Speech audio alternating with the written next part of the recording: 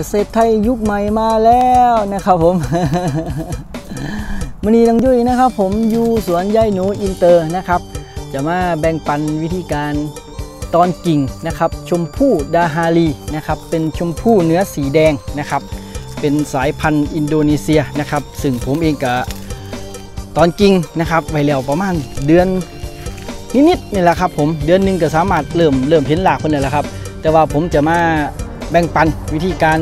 ตอนนะครับ ซึ่งบ่ยากเลยนะครับ ผมสามารถตอนได้ง่าย ๆนะครับ เดี๋ยวผมจะพาพี่น้องมาเฮ็ดไปพร้อมกันเลยนะครับผมครับผมหลังจากที่เฮาเหลียกกิ่งนะครับ ผมอาจจะกิ่งประมาณนิ้วโป้นะครับ หรือหน่อยกว่านี้ก็ได้นะครับ ผมเหมือนกิ่งตัวนี้ที่ตอนติดแล้วนะครับก็ก็กิ่งบ่ใหญ่แห้งนะครับ เดี๋ยวผมจะเลือกกิ่งนี้แล้วกันนะครับ จะเอาใหญ่ขึ้นมานิดนึงนะครับ ก็ใส่การขวนเลยครับ ถ้าตอนกิ่งก็ถ้าใส่กันไกรแบบนี้นะครับก็ก็จะง่ายนะครับ แล้วก็ใส่หนีบเลยนะครับก็หาซื้อได้นะครับ หรือจะประดิษฐ์เอาเองก็ได้นะครับก็เป็นครีมครีมเฮ้านี่แหละครับ เอาไปออกใส่กับเล็กนะครับ ตัวนี้ผมก็ซื้อมาจากสปีราชดาประมาณบ่ถึงร้อยแล้วครับ ก็จะขวนง่ายนะครับ เวลาขวนก็ก็เฮ็ดให้เฮาเฮ็ดงานได้เร็วขึ้นนะครับผม แล้วก็ใส่มีดนะครับคัตเตอร์นะครับขูดเนื้อเยื่อนะครับ ต้องขูดให้เกลี้ยงนะครับ ผมถ้าบ่เกลี้ยงนี้เพิ่อนจะออกหากบดีนะครับนะครับขูดจนหลอบเลยนะครับ ตัวนี้เป็นพันธุ์ที่ผมซื้อมาจากในเน็ตนะครับ ตอนนั้นซื้อมาต้นหนึ่งว่ามัน250บาทนะครับ เอามาปลูกประมาณปีหนึ่งครับ ปลูกปีหนึ่งกะกะเห็นผลนะครับได้ผลผลิตที่แบบ กินแล้วกรอบนะครับกรอบหวานนะครับแช่เย็นน้ำแห้งแสบนะครับ ผมก็ดูแลดีๆก็จริงๆก็บ่ถึงปีหรอกครับเอามาสองต้นนะครับ ก็ปลูกแล้วปุ๊บผมรู้สึกว่าประทับใจนะครับได้กินแล้วผมรู้สึกว่าโอเค ผมก็เลยได้มาตอนกิ่งนะครับ ขยายปลูกต่อไปนะครับ ผมอะตัวนี้ก็ไผ่มีน้ำยาเลี้ยงหลากก็เอาใส่ได้เลยนะครับ ผม ทั้งสวนก็จะมีน้ำยาโดยเฉพาะนะครับ หรือไผจะประดิษฐ์เองก็ได้นะครับ อาจจะเป็นพวกอ่าเอ็มลอยนะครับผงชูรสนะครับ หรือไข่ตัวซ่านกะปินะครับ ตามสูตรใน YouTube ก็มีหลายนะครับ วิธีเขาเรียกว่าการทำน้ำยาเลี้ยงรากนะครับ แต่ทั้งสวนใส่หลายนะครับ ก็เลยก็เลยสื่อน้ำยามาโดยเฉพาะนะครับ ผมเอามาท่านะครับก็แนะนำว่าให้ท่านะครับถ้าท่าก็ดีการเหล่งหลักการออกหลักก็ จะดีกว่าบท่านะครับผมแล้วก็ ตุ่มตอนนะครับ ผมก็คุยบกผ่าก็แซ่น้ำไว้ก่อนนะครับ จะขึ้นนึงนะครับ ผมแล้วก็มากรอก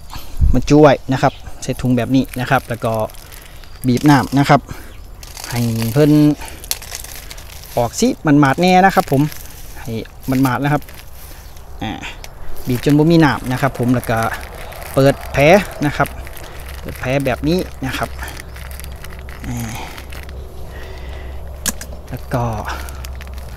ปิดเลยนะครับ ปิดเลย ก็ตัวนี้ที่เห็นหน่วยมันอยู่นี่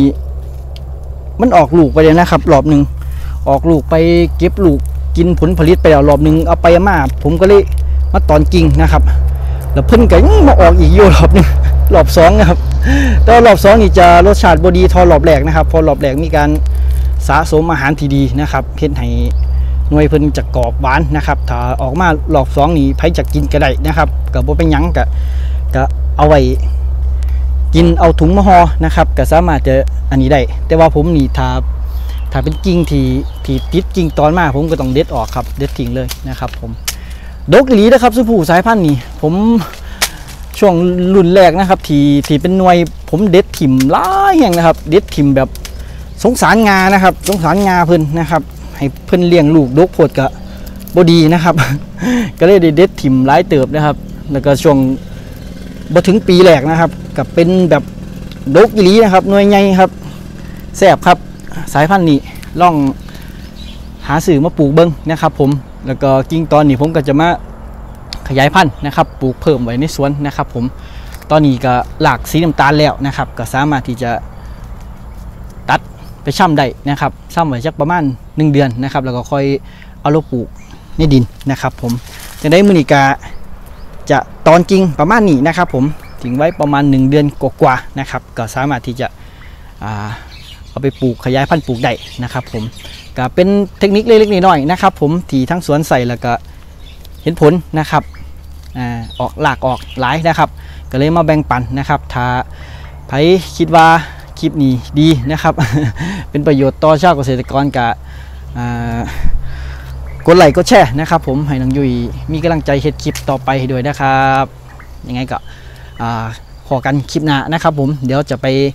ตอนกิ่งมะนาวต่อนะครับ ผมสวัสดีครับ